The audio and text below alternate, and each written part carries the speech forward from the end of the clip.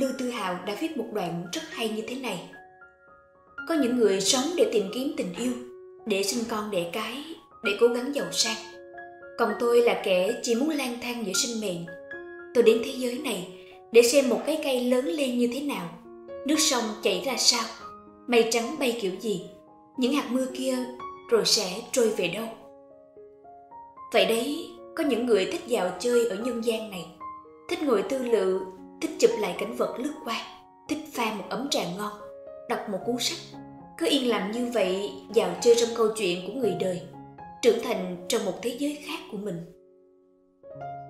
Tớ cũng đọc đâu đó một câu nói như thế này. Đừng để ai nói rằng bạn không thể làm được điều gì đó. Bạn phải bảo vệ cho ước mơ của mình. Những người không thể làm được điều gì đó cho bản thân mình, họ sẽ nói với bạn rằng bạn cũng không thể. Nếu bạn thực sự muốn làm điều gì đó, hãy đấu tranh vì nó. Bạn chính là chủ nhân của cuộc đời mình. Tương lai ra sao do bạn định đoạt. Đừng để năm tháng trôi qua, trong bạn chỉ toàn là tiếc nuối bạn đã phải đánh đổi điều gì để bước đến ước mơ của mình trong cuộc sống mà tớ lựa chọn tớ từ chối mọi cuộc vui chơi tụ tập lịch sử cuộc gọi hay thư mục tin nhắn toàn về công việc có những bữa sáng đói meo phải làm bạn với gói mì và nước lọc lúc nào tâm can cũng gào thét rác họng rằng mày thôi tự ti và so sánh mình với người khác đi đó sẽ là một cuộc sống ít ai muốn có Tôi chọn cuộc sống cực khổ, không ổn định cùng với đồng lương ít ỏi để đổi lấy những bài học sương máu, để đổi lấy thời gian và để có thể thực hiện ước mơ của mình. Với những ai không hiểu, họ sẽ bảo tớ long bông và bị điên. Ừ, tớ điên thật, tớ điên với những lý tưởng của mình, bởi nếu một ngày trong tớ không còn lý tưởng nào nữa, khi ấy tớ sẽ chết đi. Bên trong thể xác phong trần này cũng chỉ là một đứa trẻ Đôi lúc nghe được những lời thiên hạ nói về mình, cô gái 24 tuổi bên ngoài sẽ cười nhạt, còn đứa trẻ 10 tuổi bên trong thì đang khóc. Con người ấy à, nếu cứ mãi cúi đầu rồi đi theo bước chân của cha mẹ thì sẽ không bao giờ tìm thấy con đường mới đâu. Bạn phải tự có một con đường thuộc về mình. Con đường ấy có thể ngập tràn gây nhọn, ngập tràn thăng trầm, ngập tràn thú dữ. Sẽ có người xem thường bạn, nhưng đâu có sao vì cũng không phải lúc nào cũng như vậy mà bạn cũng sẽ có lúc may mắn bạn cũng sẽ nhìn thấy hoa rơi ngập tràn trâu bò thành đàn bạn cũng có thể thúc ngựa lao nhanh rong ruổi hát vang thời trẻ dại chúng mình thường hỏi nhau sẽ chọn cuộc đời bình lặng hay bão dông hồi đấy tôi bảo mình sẽ chọn bão dông vì phải trải qua thử thách con người mới khôn lớn trưởng thành được cuộc sống dễ dàng quá sẽ làm người ta yếu ớt đi Giờ nghĩ lại, có khi mình sẽ chọn bình yên. Vì cuộc đời chẳng còn đụng chạm đến ai, cũng vẫn đầy bão dông mất rồi. Đúng thật là thuở thiếu thời, chúng ta luôn mong mình nhanh chóng trưởng thành, nhưng cũng sợ phải lớn lên. Bạn nghĩ rằng dịu dàng với thế giới là thỏa hiệp, là sự hy sinh của bản thân, nhưng thực ra đó là cho chính mình một con đường, một cuộc sống nhẹ nhàng. Tôi nhìn thấy có những đứa trẻ đang chống chọi từng ngày để lớn lên thành người tử tế. Nếu đứa trẻ nào cũng là một bông hoa mình mong em có đủ nắng vàng để chờ ngày bung nở rằng em vẫn xứng đáng với yêu thương. Dẫu đã đi qua trăm lần tan vỡ. Tôi gặp em trong một quán cà phê tại trung tâm thành phố lúc nửa đêm em bước vào trong bộ đồ hóa trang hình gấu nặng nề trên tay là hơn chục cây kẹo chưa bán hết một giờ sáng em chưa thể về nhà vì vẫn chưa bán hết kẹo. Em đến quán vì hôm nay em có hẹn với cô giáo. Cô giáo của em bằng tuổi tớ. Bạn ấy gặp em lần này là lần thứ ba.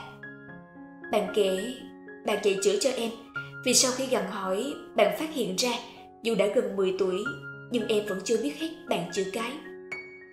Vì em phải đi bán kẹo đến khuya nên lớp học chỉ đành diễn ra vào lúc nửa đêm. Một cách vội vàng, em phải tranh thủ vừa học vừa bán kẹo cho hết. Có lẽ đây là lớp học duy nhất mà học trò được phép đến trễ. Bạn đã phải đợi hơn một tiếng mới dậy được vì em vẫn chưa bán hết kẹo. Tôi nhìn em, em như một cái cây lớn trên nền đất khô cằn, thiếu dinh dưỡng, lúc nào cũng phải vượt dông vượt gió để đến được với sự sống.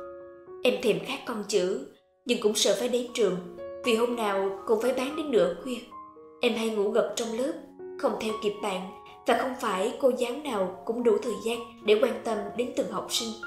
Lâu dần em nản, em sợ phải đến trường. Dẫu lớn lên ở thành phố, hàng trăm lần chứng kiến những mảnh đời mưu sinh, tôi vẫn không thể nào quen được với cái cảm giác xót xa mỗi lần chứng kiến các em nhỏ phải từ bỏ tuổi thơ để trở thành trụ cột cho cha mẹ mình. Đôi khi tôi cảm thấy mình chẳng bằng một đứa trẻ 10 tuổi khi chứng kiến sự hiểu chuyện, trưởng thành trước tuổi của các em.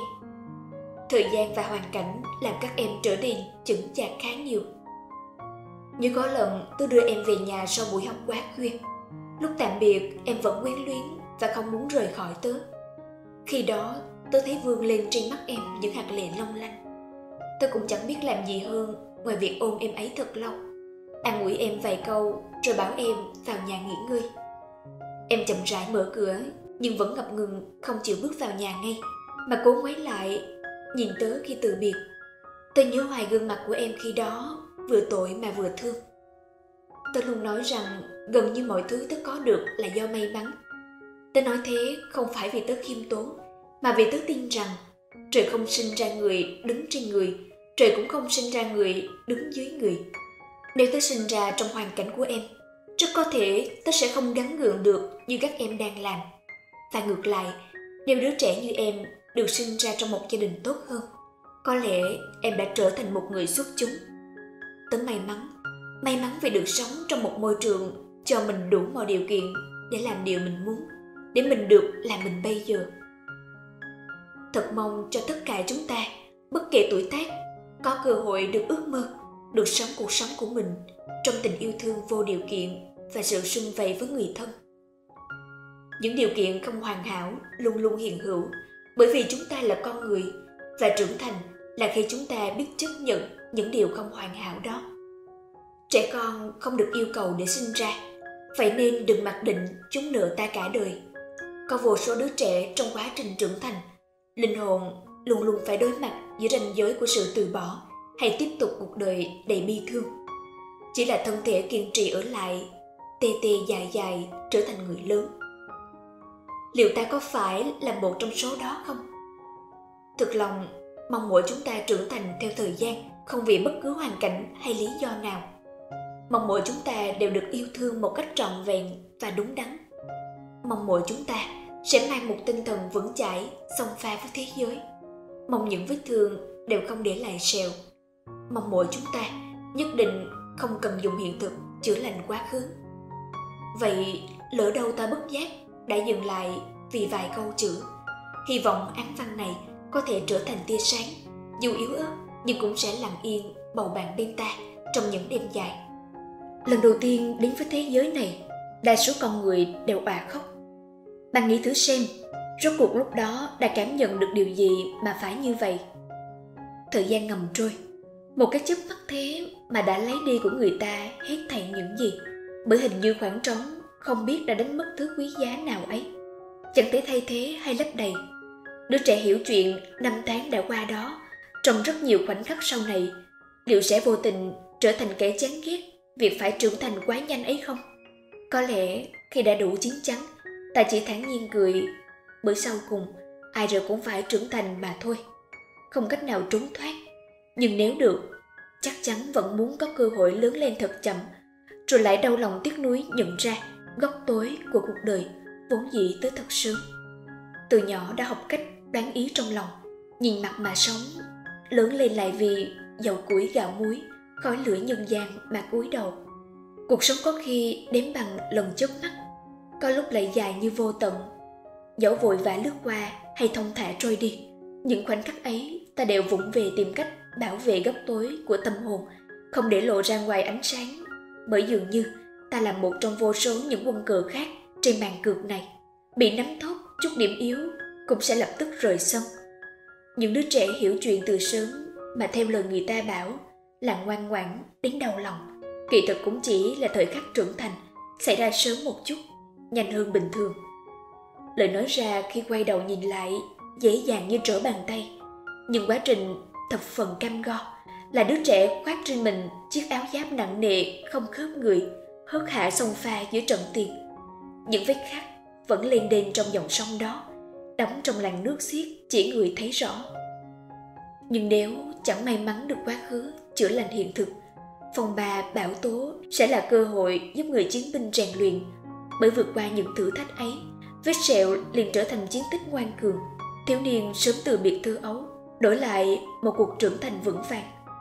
Thực ra cúi đầu cũng để thấu cảm rằng ánh dương rực rỡ nhất định sẽ chiếu đến muôn nơi, ngay cả trong góc khuất. Chỉ cần người có lý tưởng và kiên định theo đuổi. Tuổi thơ không hoàn trả những món hàng, thanh xuân không phản hồi cùng sai phạm, sức trẻ không vô hạn bằng thời gian. Sau cùng, tớ luôn mong rằng những đứa trẻ phải trưởng thành sớm hay những kẻ cô độc, lạc lối đang bước từng bước trên hành trình trưởng thành như chúng ta. Những linh hồn đã đánh đổi ngày dài để ôm vết thương lòng. Mong cho chúng ta xuôi buồn thuận mái, dẫu tháng năm chẳng hề tĩnh lặng. Trong cuộc đời dài đằng đẵng của con người, niềm vui và nỗi buồn như hai sợi chỉ nối liền và song hành nhau. Thế nhưng đối với một số người, niềm vui đôi khi lại quá ngắn ngủi, còn nỗi buồn dường như lại dài lê thê chúng ta, ai cũng phải đối mặt với những áp lực, những lo lắng, mệt mỏi của cuộc sống. Những lúc yếu lòng hay cô đơn khi phải đến với một nơi mới mẻ hoàn toàn, xa lạ. Chúng ta lại mong muốn tìm về ngôi nhà ấm áp, thân thuộc của mình như một bản năng. Cũng sẽ có những ngày bạn cảm thấy mọi thứ trên thế giới đều đang chống lại bạn. Bạn càng cố gắng, càng cảm thấy mệt nhoài. Bạn bất lực, bạn muốn buông xuôi, bạn không muốn phải tiếp tục nỗ lực bạn không thấy cần phải cố gắng thêm nữa. Mọi lời động viên đều là vô nghĩa. Thế nhưng tận cùng của sự tuyệt vọng lại là khe hở của ánh sáng. Chạm đấy nỗi đau cũng là lúc tổn thương được chữa lành. Vượt qua ngày đen tối sẽ đến lúc tia sáng rạng rỡ của hừng đông chiếu rọi muôn nơi. Những nỗi đau tưởng chừng không thể xóa nhòa, rồi sẽ đến lúc được thời gian xoa dịu. Chữa lành không nhất thiết phải trở thành phiên bản tốt nhất của chính bạn chữa lành là để phiên bản tồi tệ nhất của chính mình được yêu thương. Ở nơi nào đó, bằng một lý do nào đó, tất cả mọi thứ đều có ngày hết hàng cá hộp hết hạn, thịt hộp hết hạn, đến cả giấy bọc cũng hết hạn. Tôi tự hỏi liệu có cái gì trên đời không hết hạn hay không? Vậy nên, khi bạn cảm thấy cuộc sống của mình có quá nhiều mảng đen u ám, thì hãy nhớ nỗi buồn sẽ không kéo dài mãi mãi. Sự phiền muộn của bạn rồi cũng sẽ đến lúc hết hạn thôi ngày mai sẽ là một sự khởi đầu mới. Nỗi buồn là một phần của cuộc sống. Khi bạn biết cách chấp nhận nó, bạn sẽ thấy ổn. Ổn không có nghĩa là không buồn. Ổn vì bạn biết ngày mai, niềm vui sẽ lại đến. Cuộc sống luôn rất cân bằng, có ngày náo nhiệt, cũng sẽ có ngày tĩnh lặng. Có thể hiện tại chúng ta đang rất buồn, nhưng đừng quá lo lắng, rồi niềm vui sẽ trở lại. Sống với tâm thế như vậy, tất cả chúng ta sẽ ổn. Cứ yên tâm khi còn nhỏ, ta đã ngàn lần vấp ngã, nhưng vẫn đứng lên, cho tới khi có thể chập chững bước đi. Vì lẽ đó, dù là người lớn hay trẻ nhỏ, đều không cần ép mình phải theo tốc độ của người khác. Chậm một chút cũng không sao. Ta đã đọc ở đâu đó một câu nói mà cho đến tận bây giờ tôi vẫn thường suy nghĩ về nó. Giờ đây khi đã là một người trưởng thành, có lẽ bạn vẫn cảm thấy một cảm giác tội lỗi khi từ chối một lời mời ăn tối để đi đọc một quyển sách mới thú vị. Hoặc có lẽ bạn thích dục bữa tối tại nhà một mình và sẽ dễ chịu hơn rất nhiều nếu không có những ánh nhìn thương hại từ những vị khách xung quanh. Tôi không nhớ rõ mình đã chọn cô đơn từ bao giờ, nhưng đã từ lâu lắm rồi. Tôi chẳng có thêm một mối quan hệ mới, mà những mối quan hệ cũ lại dần dần mờ nhạt đi. Họ chẳng nói, tôi cũng chẳng mở lời. Và cứ thế, những cuộc gọi ít dần, những thông báo tin nhắn facebook cũng thư hẳn đi sau giờ học sau giờ tan làm tới chọn một mình trong căn phòng trọ nhỏ. Mở nhạc và thi thoảng tự thưởng cho mình một cốc cà phê. Nhiều lúc tôi nhớ mình của ngày xưa quá. Hồi đó tôi vui chơi đùa nghịch như một đứa con trai. Lúc nào xung quanh tớ cũng là những đứa bạn mặt hớn hở cười giòn tan. Nhưng đó là khi tôi còn học cấp 2, cấp 3 khi lớn lên chẳng biết do tớ hay do lòng người mà tớ cứ như thế thu mình lại mỗi ngày một chút rồi cuối cùng chỉ còn tớ và cô đơn tớ đã chọn cô đơn hay là vì trưởng thành nên cô đơn nó chọn tớ trong cuốn sách Đừng khóc ở sài gòn có một trang viết như thế này Ở Sài Gòn vào những ngày trời mưa, đừng hỏi người ta có mang áo mưa hay không. Hãy thử nói với người bạn quan tâm. Ở lại chút, đợi tạnh mưa rồi hẳn về nhanh. Tôi sẽ không hỏi bạn kiếm được bao nhiêu tiền đâu. Tôi mong gánh nặng cơm áo gạo tiền sẽ không làm ăn đôi vai bạn. Tôi sẽ không hỏi bạn có người yêu chưa. Tôi mong bạn vẫn đang hạnh phúc với chính mình và những mối quan hệ hiện tại. Tôi sẽ không hỏi bạn có ghét Sài Gòn không sau chừng ấy mệt mỏi. Tôi mong bạn vẫn luôn tìm thấy những điều giản đơn mà ấm áp ở thành phố này. Thật vậy, nơi thành phố rộng lớn ấy, cứ ngỡ con người ta sẽ cô đơn và lạc lõng lắm.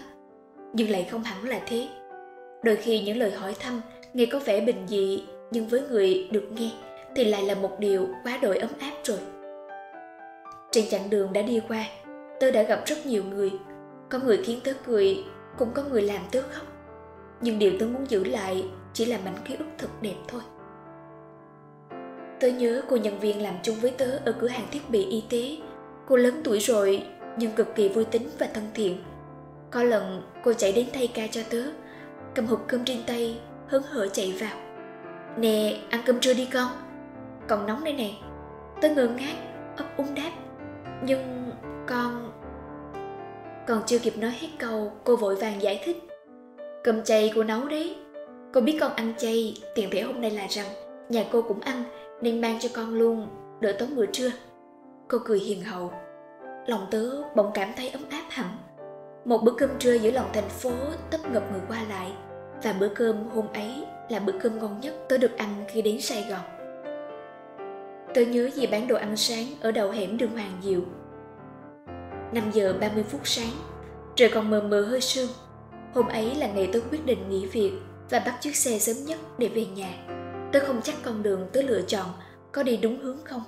Nhưng tớ vui khi được là chính mình và tớ tin những điều tớ trải qua đều là những bài học, những trải nghiệm đáng quý tôi đứng bên lề đường chờ tận 20 phút mới thấy bóng dáng chiếc xe chậm chậm dừng lại bên kia đường.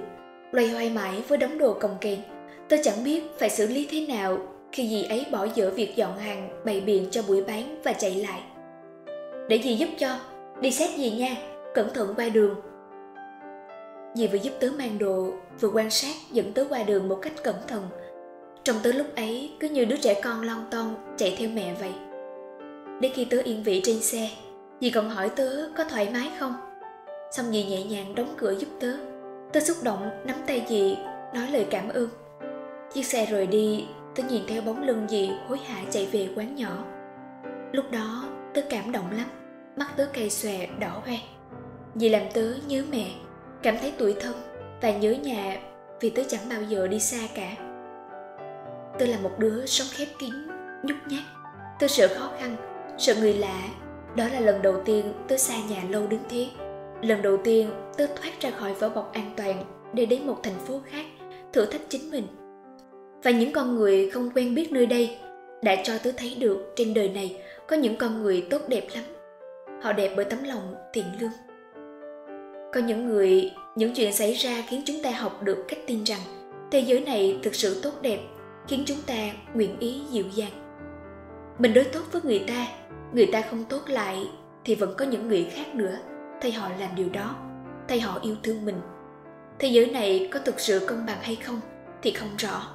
Chỉ biết rằng nếu bạn có thể dịu dàng, bình thản, bạn sẽ thấy cuộc sống luôn công bằng, luôn đủ với mình. Quả ngọt vốn sẽ có, chỉ là người gieo trồng nên nó có đủ kiên nhẫn chờ đợi hay không thôi.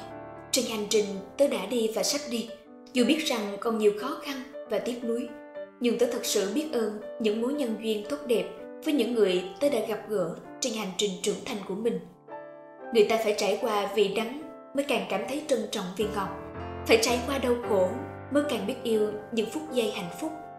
Cảm xúc tiêu cực xuất hiện là để tôn lên những thời khắc tươi đẹp, giúp chúng ta sống trọn vẹn những phút giây còn có thể nửa nụ cười.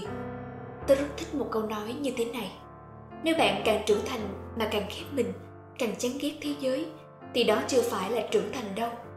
Trưởng thành thực sự là khi bạn lựa chọn dịu dàng với thế giới, không oán trách, không hờn giận.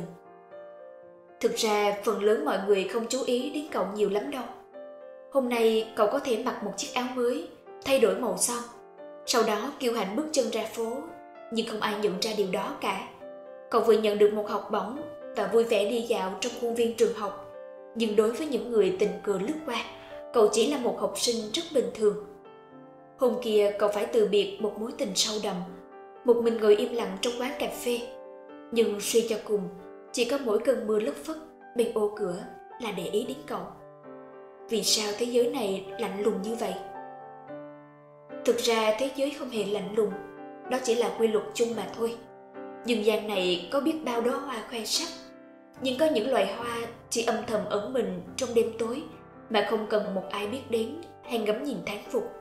Tất cả những lỗi lầm cậu từng gây ra, những niềm vui cùng nỗi buồn của cậu, đến cuối cùng chỉ có cậu mới là người cảm nhận được trọn vẹn và khắc ghi trong lòng. Đừng cố gắng để được mọi người trông thấy, không phải mọi việc cậu làm đều cần có khán giả. Hãy mặc lên chiếc áo mà cậu thích, dù người khác không cất lời khen ngợi cũng không sao. Hãy khẽ hát vu vơ vì cậu đột nhiên cảm thấy vui vẻ, người khác không nhất thiết cần phải lắng nghe. Bởi vì có những thứ người khác không cần nhìn thấy, chỉ cần bản thân chúng ta thấy là đủ. Cậu thấy bản thân chẳng có tài năng gì hơn người. Bạn bè ở tuổi này đều đã có sự nghiệp ổn định. Còn cậu thì... Cậu đã suy nghĩ và khóc rất nhiều, đêm nào cậu cũng không ngủ được.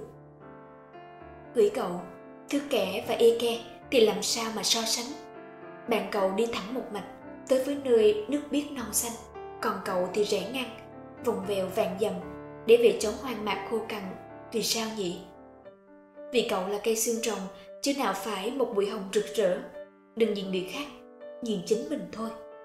Hôm nay dư giả thì ăn cơm với cá, ngày mai thiếu thốn thì mì gói hành hoa. Trong trường hợp nào cũng phải luôn vui vẻ. Hôm nay người cười, cậu khóc, ngày mai người khóc, cậu cười. Như hai mặt của đồng xu mới làm thành giá trị của đồng tiền. Buồn vui đủ đầy mới làm nên ý nghĩa của sự sống. Cậu nhìn người cười đấy nhưng chưa chắc người vui. Cậu thấy mình đổ lệ vẫn may hơn nhiều người. Sống mà chỉ vui dễ sinh ảo giác. Sống mà chỉ buồn bạc nhược phí phạm. Lên lên xuống xuống buồn vui đang xen mới thật trọn vẹn. Đêm xuống phải ngủ, đừng nghĩ ngợi nhiều. Tài năng không theo kịp người ta thì phải bù đắp bằng sự lạc quan và lòng can đảm. Không thể thua toàn diện được. Bạn mặc kệ không phải bạn sợ hãi, nhút nhát mà khi đó bạn tự tìm cho mình một lối thoát một chút thời gian để thả lỏng bản thân để chuẩn bị đối diện với cơn bão lớn trước mặt. Học được cách mặc kệ cũng chính là khi bạn hiểu được nghệ thuật không quan tâm. Cuộc sống này đâu phải lúc nào cũng vạn sự như ý. Muốn sống thoải mái thì bạn phải suy nghĩ tích cực muốn được vui vẻ thì bạn phải biết đủ. Khi bạn buông bỏ thứ tình cảm không thuộc về mình buông bỏ những vật chất không phải của mình. Chắc chắn, bạn sẽ không còn bán màn theo đuổi, cũng sẽ chẳng bao giờ câu mày phiền não. Hãy học cách mặc kệ, đừng so đo tính toán, đừng lo nghĩ quá nhiều. Lúc nào cũng phiền não, há chẳng mệt mỏi sao? Lúc nào cũng dày vò vết thương, há chẳng đau sao? So với việc bạn than trời oán trách, chẳng thà mặc kệ mọi thứ, hãy sống cho mình. Chỉ cần cuộc sống bình an chỉ cần thân thể khỏe mạnh, chỉ cần ngày qua ngày lạc quan vui vẻ, gia đình hòa thuận, mất đi một chút thì có là gì? Tiền tài không nhiều thì có làm sao? An trú trong tâm hồn mới là điều quan trọng nhất. Sống như là đọc một cuốn sách vậy, bạn cần phải biết lật sang một trang mới khi cần thiết. Vì thế trang sách của chúng ta, nếu đã đọc xong rồi thì cũng đừng ngừng ngại, hãy lật sang trang mới nhé. Cho dù trang sách đó có hay đến mức khiến bạn phải bùi ngùi, quyến luyến thì dù thế nào, bạn cũng vẫn phải đọc tiếp mà. Và những trang phía sau vẫn còn biết bao nhiêu điều hay, cái đẹp vẫn đang chờ bạn đó. Đôi khi chúng ta chỉ cần nhớ như vậy là đủ rồi. Thế là vào những ngày non trẻ, tôi dốc hết sức mình cho những việc chẳng rõ kết quả. Người ta cười chê tớ vớ vẩn, nhưng tớ thực sự đã cố gắng rất nhiều. Vậy nên có rất nhiều việc chỉ bản thân tớ biết mình đã nỗ lực ra sao là được, người ta không cần phải hiểu trưởng thành cũng giống như bước đi trong đêm đen vậy mặc dù hai bên đường không có ánh đèn cũng không có bóng người nào nhưng bởi vì bình minh ngày mai sẽ rất đẹp nên ai ai cũng đang cố gắng bước tiếp khi nào lên tới đỉnh núi cậu sẽ hiểu nếu cậu bỏ cuộc giữa đường thì cậu sẽ không bao giờ có được niềm vui chiến thắng của chính mình cả đừng bao giờ từ bỏ. Nếu cậu từ bỏ được một lần, vậy thì cậu sẽ quen với việc cứ gặp khó khăn là sẽ nản chí, sẽ bỏ cuộc. Nhưng nếu cậu vượt qua được bản thân mình lúc ấy, thì cậu sẽ quen với việc luôn bước qua sóng gió để tiến về phía trước. Nhìn thì tưởng đấy là sự lựa chọn đơn giản nhất, nhưng thực ra ảnh hưởng vô cùng lớn, sẽ khiến cuộc đời cậu hoàn toàn rẽ sang một hướng khác. Hoa tàn rồi, năm sau còn có thể nở lại, nhưng cuộc đời không có cơ hội nào nữa đâu.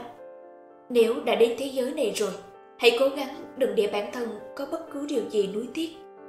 Trong những ngày tháng còn lại của sau này, hy vọng mỗi năm, mỗi ngày, mỗi phút trôi qua của bạn đều sẽ không phụ lòng với khoảng thời gian đẹp đẽ này. Càng không được mắc nợ phiên bản tốt nhất của bản thân. Hy vọng bạn đừng lạc đường. Hy vọng bạn kết thân được với bạn tốt. Hy vọng bạn không còn bị người khác bắt nạt nữa. Hy vọng bạn hạnh phúc. Hy vọng dù bạn có một mình cũng có thể kiên cường. Cuộc sống có hy vọng mới có thể kiên cường. Đừng nên oán trời trách đất, cũng đừng nên ăn năn hối hận. Chỉ khi bản thân đủ tốt thì cuộc sống mới không còn mệt mỏi. Đúng vậy, cuộc sống cần có mục tiêu nhỏ, có thể gặp được người hợp cà, cần cù trong công việc và có chút tiền lẻ. Thỉnh thoảng xuất hiện giấc mơ phi thực tế, thỉnh thoảng lãng phí một chút thời gian cũng không tệ. Đừng chỉ vì một lần thất bại trong tình cảm mà đã thất vọng về lòng người. Đừng chỉ vì một lần vấp ngã mà đã phủ nhận năng lực của mình. Đừng chỉ vì tạm thời chưa có phương hướng phấn đấu mà suy nghĩ tiêu cực. Không phải ai cũng có thể trở thành hình mẫu mình mong muốn, nhưng mỗi người đều có thể nỗ lực để trở thành hình mẫu của mình mong muốn. Hãy tin vào chính mình, bạn có thể trói mình trong kén thì cũng có thể phá kén trở thành bướm. Người đến tới của năm tháng cũ, cảm ơn cậu đã luôn cố gắng gom nhặt từng mảnh vụn, lấp lánh dù là nhỏ nhất từ những lần gặp gỡ. Cảm ơn cậu đã vất vả ôm lấy những tổn thương để dạy tớ biết rằng mối liên hệ giữa người và người suy cho cùng cũng chỉ là hữu hạn. Cảm ơn vì cậu đã luôn tin tưởng thế giới này vẫn rất nổi dịu dàng. Và cuối cùng, cho tớ gửi lời cảm ơn vì bao tháng ngày qua. Dẫu những khi thương tích đầy mình, cậu vẫn mở lòng mình để đối đãi dịu dàng với thế giới. Trưởng thành không phải là điểm đến mà là cả một hành trình dài chúng ta cùng nhau trải qua. Trưởng thành là kết quả, là đáp án cho những việc cậu trải qua. Những con người cậu từng gặp phải theo năm tháng. Hy vọng rằng cả tớ và các cậu, những ai đang đọc được bài viết này đều sẽ cùng nhau trưởng thành và trở thành người có ích cho gia đình và xã hội. Khi một đóa sen chớm nở, mới nhận ra chẳng có thứ gì là dư thừa trong cuộc đời này, dù đó chỉ là một nắm bùn đen. Khi một cành mai ra hoa, mới nhận ra những ngày giá lạnh cũng là cần thiết. Một ngày kia trưởng thành, tự đứng vững trên đôi chân mình mà trái tim vẫn còn lương thiện, mới thấy những ngày tháng đau thương cô độc cũng đáng giá. Các thính giả miến thương vừa lắng nghe tác phẩm, bạn phải đánh đổi điều gì để trưởng thành? Đến từ tác giả Kim Vi. Xin chào và hẹn gặp lại.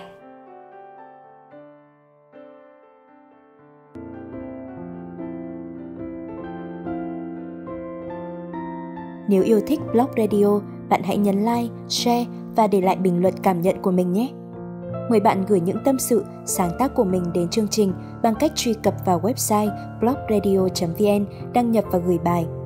Hoặc gửi đến địa chỉ email blogradio.vnnplus.vn. Các chương trình được cập nhật hàng tuần trên chuyên trang và kênh youtube Blog Radio. Đừng quên nhấn đăng ký và nhận thông báo để không bỏ lỡ những chương trình mới nhất nhé. Blog Radio, phát thanh xúc cảm của bạn